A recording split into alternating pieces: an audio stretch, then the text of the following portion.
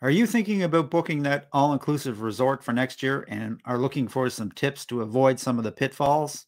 Stay tuned as we interview Melissa Feenstra of Feenstra Travel about her 10 tips for uh, all inclusive resorts. And as always, folks, if you enjoy this video, please like, subscribe, and turn on all notifications to get notified each time we post. My guest today is Melissa Feenstra, owner operator of Feenstra Travel, located in Jenison, Michigan. A certified travel associate and destination specialist, Melissa has been planning vacations for her satisfied clients across the country since 1994. Hi, Melissa. Welcome to RTE Travel Talk. Hey, Ken. How are you? Thanks for having me. It's so good to see you again. Uh, it's great to have you back with us, Melissa. Melissa, Deb and I are, are considering next winter for an all inclusive getaway. And I must con- confess, I'm no expert when it comes to resorts and all inclusives, having only really experienced one or two in all the time we've been traveling.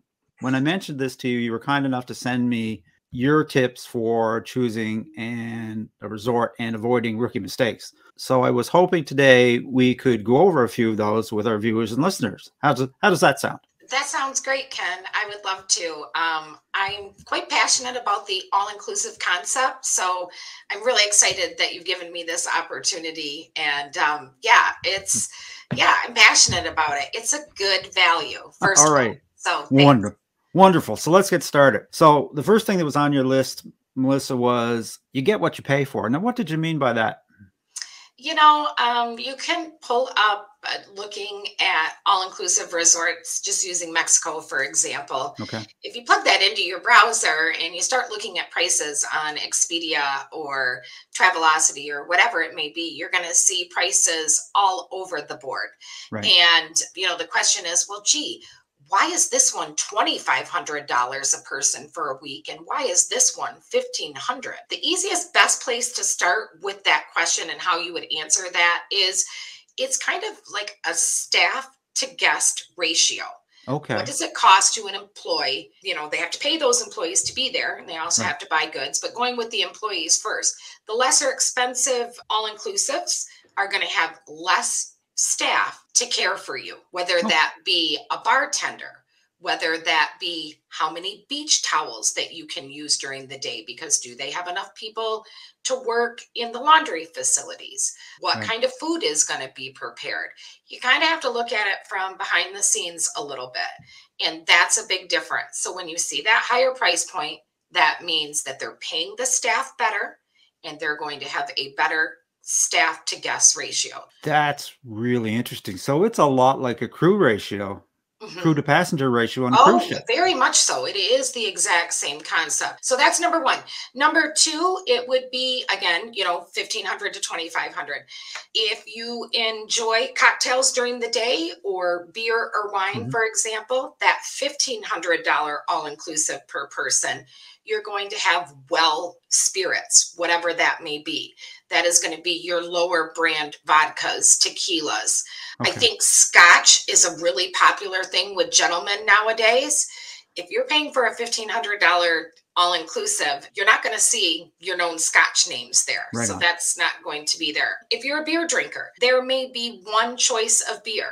And again, using Mexico as the example, it's probably going to be Dos Equis or Corona. It's one type of beer. If you like American beers or Canadian beers, they're not going to be there. It's going to be one type of beer. When you see that higher priced all inclusive, look for things like premium brand liquors, yeah. beers, and wines. So, really, at the end of the day, things that are important to you, things that you might mm-hmm. normally expect, you got to make sure that it's Ex- there exactly. Get, exactly. You get what you pay for. Yeah, you get what you pay for. I right mean, on. what's the point of going on vacation at $3,000 if it's a mediocre experience? Exactly. Think about the things that are important to you, what you like to eat, what you like to drink, and think about what it costs to employ employees. Super. So the next thing you sent me, which kind of rings true from my cruising days too, is check out the room location because not mm-hmm. two, no two rooms at a resort are are created equal, I'm sure. How does that work? Generally, when people are calling to book an all inclusive vacation, they're looking at at least seven nights.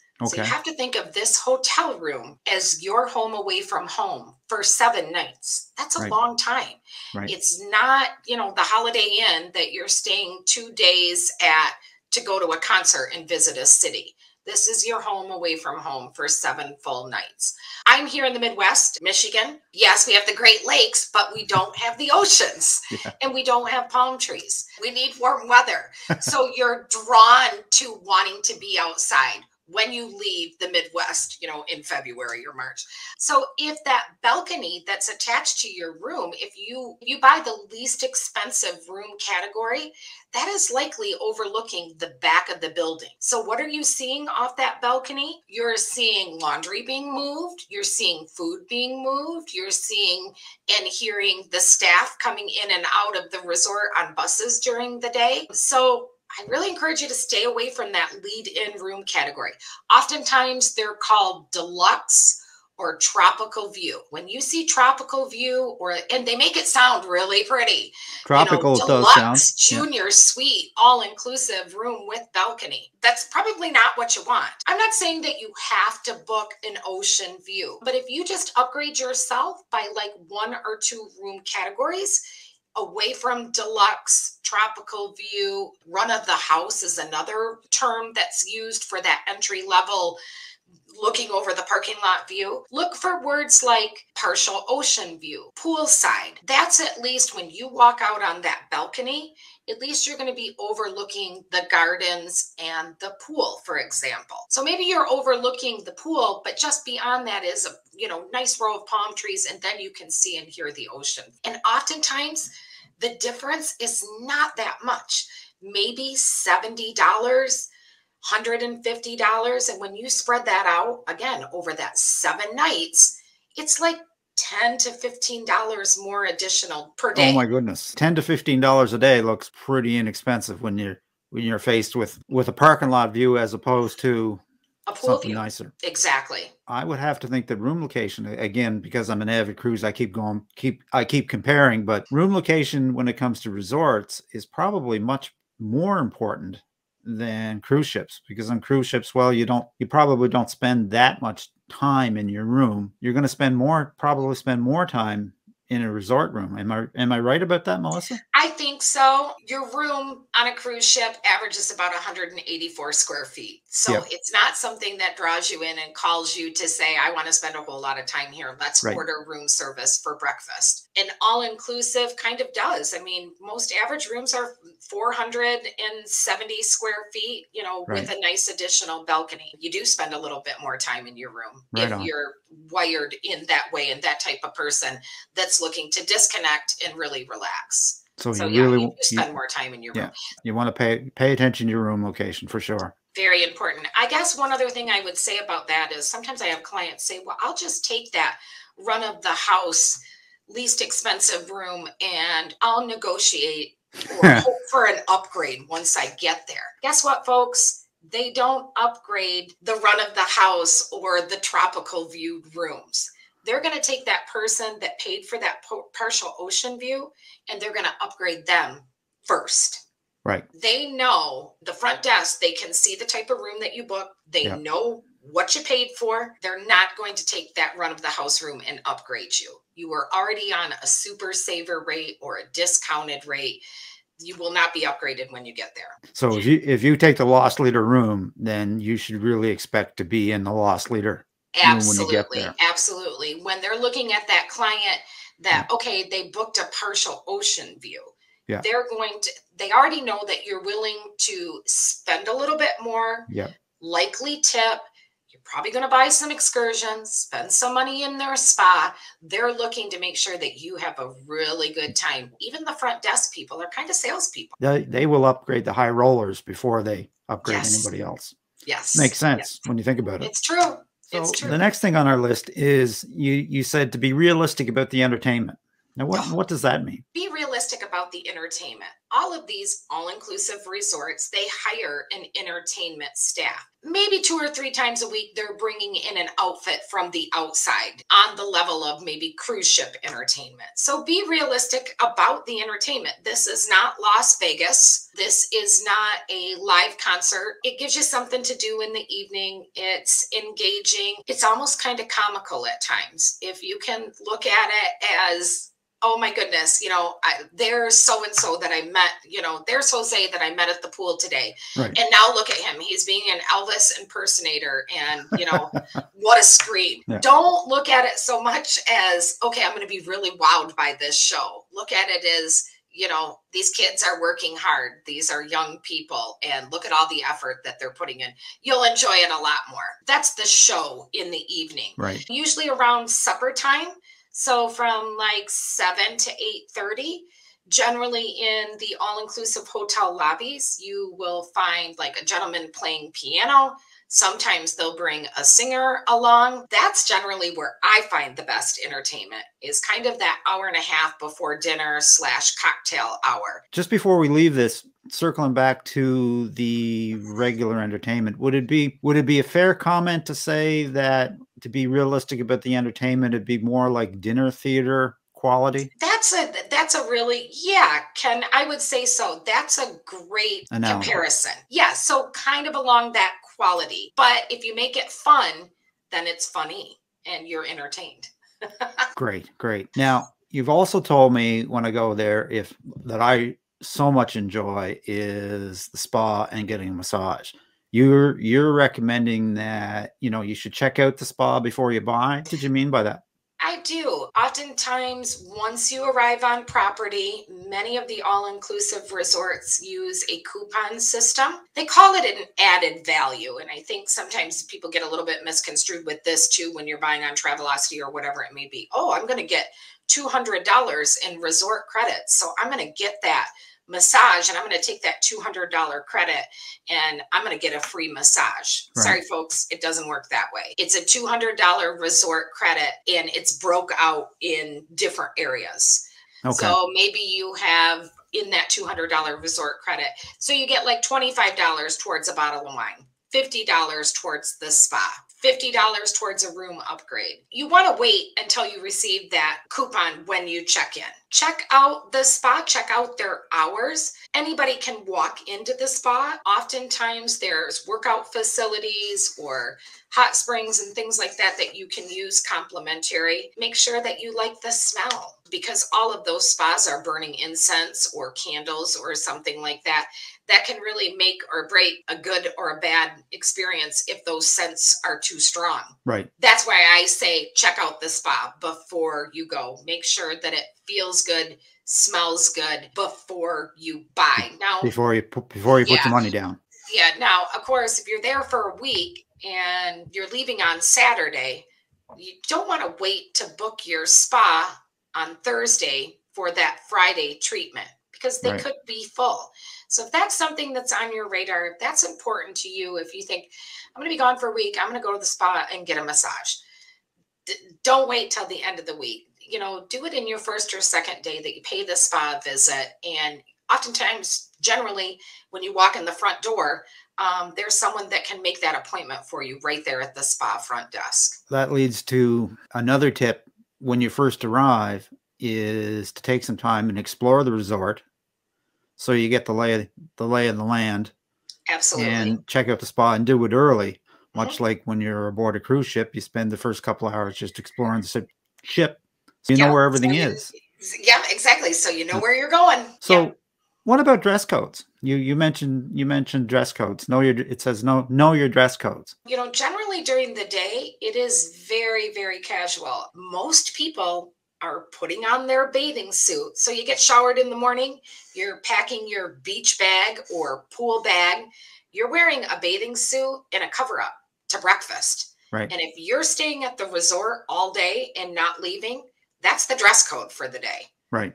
Is bathing suits, cover ups, hats, flip flops. Gentlemen, you're basically wearing your swim trunks to breakfast with right. a t shirt and your ball hat and a flip flop. So when you're thinking about packing, you know, don't think about, oh, I need seven pairs of shorts because I'm going to wear shorts, you know, during the day. Probably not. You probably need seven bathing suits because that's what you're going to spend the majority of your time in. Right. And nobody's going to want to wear the same two bathing suits for seven days when you're in that bathing suit for five and six hours. So that's during the day, very, right. very casual. In the evening, they do kind of step things up. They kind of transform that resort into nighttime restaurants and music venues and things of that nature. The buffets are always generally casual. Right. So if you've had too much sun, and you're like, you know, no, I'm just going to hit the buffet, then shorts are fine. But if you're looking to get into those specialty restaurants where you're going to get a nice steak, or an Asian fusion restaurant or something like that. Guess what, gentlemen? I'm sorry, you got to put on a pair of slacks. That's all there is to it. They're not going to let you in in your Bermuda shorts and t-shirt. Okay. And I don't mean slacks. It doesn't have to be dress slacks. Women, we have it easy. Finally, for once. But it's the guys that it's it's the guys that have it difficult, you know, because they're like, oh, you know, I don't want to put on a pair of pants. But it doesn't even have to be slacks and a belt. It can be slacks, belt, collared shirt. So right. that could be like something that you have on now, Ken. Yeah. It can be short sleeve, but it needs to have a collar on it. Right. That's how you're going to get into those specialty restaurants in the evening. Closed toed shoes is another just kind of weird thing. Some all inclusives are really, really strict that they want gentlemen in closed toed shoes. They've kind of backed off of it in the last five years because you can wear a really cool man shirt with a pair of blue jeans and a Birkenstock sandal that looks, you know, pretty nice. But just be prepared that, ooh, I might need that closed toed shoe. Right on. And as far as ladies, I mean, again, finally we have it once. It's sandals, dresses, sleeveless, tube tops. It doesn't matter. Just as long as it's not cut off shorts and yeah. a sleeveless top. I mean, I swear I've seen women wear their nightgowns to dinner you know. but if you put a kitten heel on it and a piece of jewelry, apparently that's a dress. So, so they're so they're much harder on the guys. And, they are much and, harder the, on the guys. They the ladies get a free really ride. Are. I always often get this question. Hmm. People will say, "Oh, I was going through the pictures, and everyone looks like models." You know, I don't know yes. if this is the right all inclusive for me. Yeah. Everyone looks so beautiful. Don't think that you're going to be a fish out of water because you don't look like the person in the picture. That Great. resort that's, still is for you. That's really good to know because I, I have to say, I'm, I'm not one of the beautiful people. not either. But you know, do do I look like every other Midwestern middle-aged yeah. mom? I sure do. And yeah. guess what? That's the majority of the all-inclusive resort. People that look just like you and me, Ken. Awesome. Awesome. So you tell me that timing is everything and varies by the resort. What do you mean by that, Melissa? A couple of things. Everybody wants to travel when their children are on school breaks. Right you're looking to give your children experiences and things of that nature. You want to do it when your kids are off from school. But the minute you tack on a holiday, Easter, Thanksgiving, Christmas is the worst. Why in the world, the week of Christmas, is it costing $3,200 a person for an all inclusive? And then I look at the first week of January and it's a thousand dollars less. That's the reason. That's the reason. Yeah. Supply and demand. So that's what I mean by timing is everything. You stick a holiday on there, expect to pay about a third more than what you would pay if it were a non-holiday week. Right. So if you want to economize, look at the times of the year when there's no holidays involved you'll get Absolutely. it you'll get a better you get a better price you do you do yeah. so melissa would that also apply like we're obviously talking there about family resorts and, and, the like mm-hmm. but would that also would that timing also apply more or less to the adult resorts for just couples same. and same, same. idea so what about just when it comes to timing and certain resorts does seasonality play a part in it as well? Oh, like, yeah, yep, absolutely. Oftentimes, the warmer here, um, the rainier season there in the Caribbean or Mexico, okay. those are going to be less expensive. Okay. Times to travel. Now, we talked earlier about dining, specialty dining reservations, dinner reservations when you check in. As soon as you check in, is, is that that's something that gets sold out, and you want to yeah, it's plan interesting. in? You're going to run into that situation of needing a dinner reservation and having to sign up for them at the beginning of the week at those lower cost all inclusives. Right. that entry level price point. When you get into the more deluxe luxury resorts that you're paying more for, Right. They have more specialty restaurants, higher number of staff, and they use like the Applebee's system, like a beeper. Okay. Uh, you don't even have to have a dinner reservation. The lesser expensive ones, yes, to get into a specialty restaurant, expect to make a dinner reservation and you have to do it at the beginning of the week. Sometimes you have to do it on the day of, and you may be spending a lot of time in buffets unless you're willing to commit to a time of what time you're going to be to dinner and which restaurant you're eating at each night. That's your lesser expensive all inclusive. You're making okay. dinner reservations, period. Okay. Your higher end ones that you paid a little bit more for, you can walk up to any restaurant. If you want to eat at the Japanese steakhouse five nights, you can go there every night. Every night. There right. is no limit. Nobody cares. You don't need a dinner reservation, and they're going to give you the first come, first serve you know, like I said, like an Applebee's styled beeper.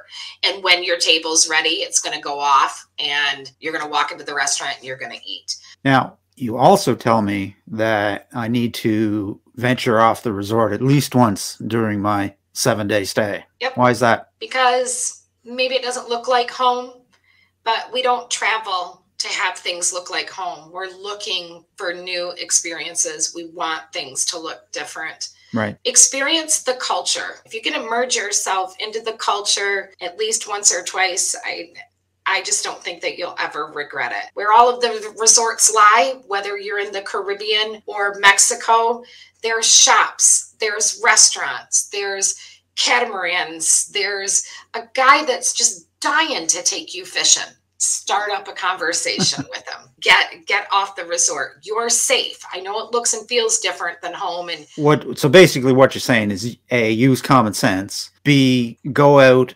and experience the people experience the culture because it's going to give you memories. It's going to give you memories to take home with. the other thing that you're telling me melissa is and i'm good at this is to lean into re- the relaxation and pampering when you're there what what do you mean by that well the pampering i guess part of it first and the relaxation you are truly an all-inclusive resorts guest right they know that this is your home away from home for seven days let them bring you a towel if someone comes up to you and says, you know, can I get you an umbrella? They're not expecting anything for that. That's part of their job. And I know that that seems strange. Well, I see that umbrella over there. I can get it myself and pull it over to my husband and I's lawn chair. They don't want you doing that. They want to take care of you. So go ahead and let them get that umbrella for you. Let them get you a dry towel and just say thank you. That's the pampering side of things. Is it really okay to order two entrees? I mean, do I really need that? Probably not. But again, you paid for a different experience. You want to have things different than they are at home. It's right. okay to kind of indulge. And everyone that works at the resort is well aware of that. And as far as the relaxation, it takes a while to kind of relax.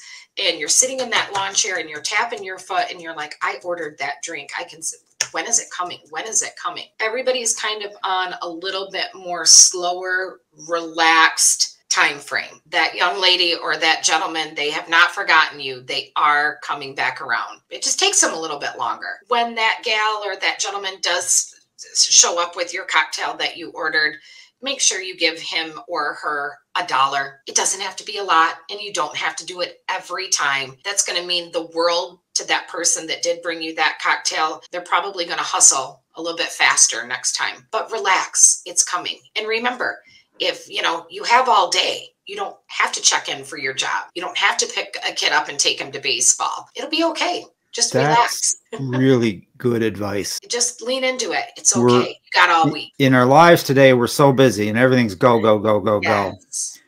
You go down to one of these resorts. It's, for want of a better word, the one time we were in Jamaica, somebody called it, you're on Jamaica time. Island time. island time, and yeah. the world doesn't move as fast. And it. And neither and and neither and neither should you. And neither should you. Mm-hmm. And when you take the time to adapt to that, you'll find that that's extremely relaxing. Mm-hmm. If you try to fight it, then it's going to be a rough week. It's going to be a rough week. yeah, so that's what I would say about that. That's wonderful. This is absolutely wonderful, Melissa. You've given us a, a, lot of great tips here and just an absolute ton of great information. But perhaps one of the most important tips that I can think of is if you're serious about getting a great resort vacation, is to take full advantage of the expert knowledge of a travel advisor, uh, such as yourself speak to that a little bit for us, Melissa. Why is that important to have the services of, a travel advisor, even just for, you know, I'm going to book an all inclusive? Mm-hmm. What makes the difference? There are a lot of agents out there, like myself, that specialize in the all inclusive. I spend, as an agent, a lot of time on property. I do trips that are put on by my industry. If you're speaking to an agent that specializes in all inclusive travel, my guess is he or she have seen most any property that you're going to bring up to them. And that's not something you're going to find online. The internet is a great source, but somebody that has walked it, seen it, stayed at it, tasted the food, put their feet in that beach sand. Guess what? Google hasn't done that, but I have. A good travel advisor your money is important to me. I want to, I want to meet your expectations and exceed them. I want you to spend that $2500 per person in the best possible way for the best resort that fits you. And the only way to do that is through a conversation. Let your travel advisor get to know you and get to know your travel advisor. It's going to save you a lot of time. Well, Melissa, that's great information do you have any other advice for guests looking to book for 2022 or 2023?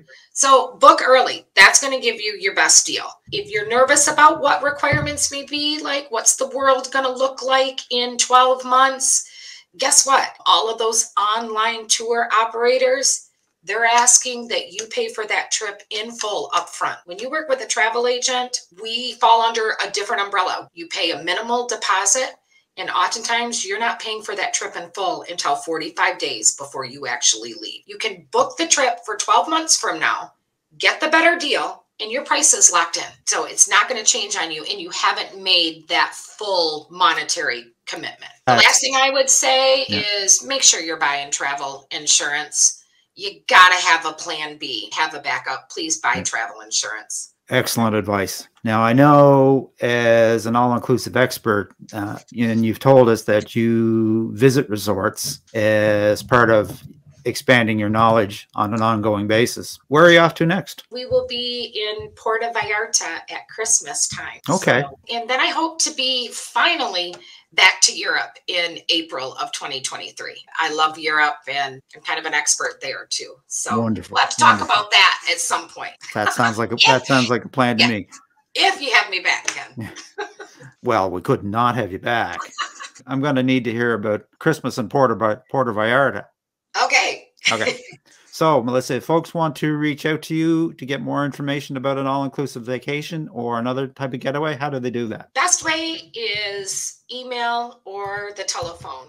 So, my email address is scrolling along the bottom. It's melissa at feenstratravel.com. I also have my website, feenstratravel.com. It's all about relationships, having conversations. You can get so much more accomplished by just picking up the phone. Conversation matters. Get to know the person you're doing business with. Pick up the phone, call them. They're dying to talk to you. Well, Melissa, this has been absolutely great. Great advice for Deb and I eh, as we're looking forward to planning something in the Caribbean next year. I look forward to hearing more about your upcoming adventures. So until next time, I'm simply going to wish you sunny skies and cool tropical tropical breezes on all your future fams and getaways. And I hope to see you poolside at your favorite oh. resort sometime soon. Sounds great, Ken. You bet. Take All care. Right. Take care. Bye. See you. Bye bye.